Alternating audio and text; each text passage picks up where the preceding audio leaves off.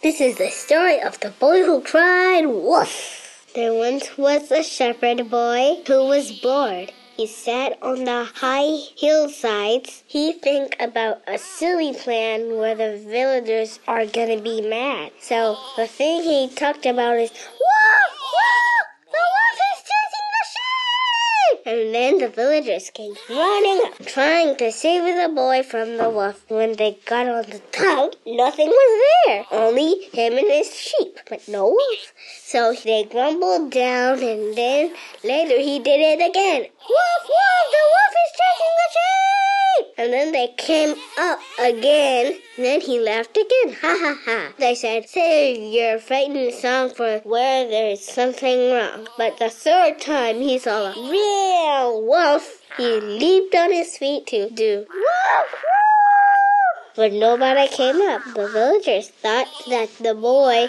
was trying to fool them again. He took the sheep away, and then an old man wrapped his arms around him. But nobody believes a liar even when they're telling the truth. The end.